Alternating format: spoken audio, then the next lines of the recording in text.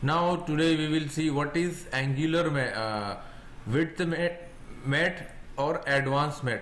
So these are the two body we created separately and we bring to assembly. Now we will see some advanced mate. Standard we already studied. Now here one advanced mate. Here one wet width mid.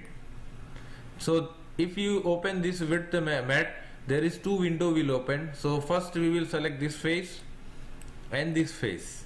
Now two faces we have to select in wet and tab section where we want to fix it. So select this face and this face. See it is automatically uh, adjusted. Select ok. Ok. Now see. This piece just at exactly the center of this piece. So this is the main method and the main reason why we are choosing width mate it the one piece will come exactly the center of another piece. See you can see it is exactly the center of another piece.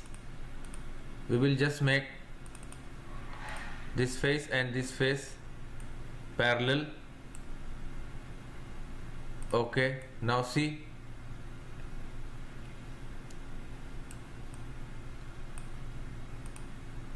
so this is called width mate i hope you enjoyed. Thanks for watching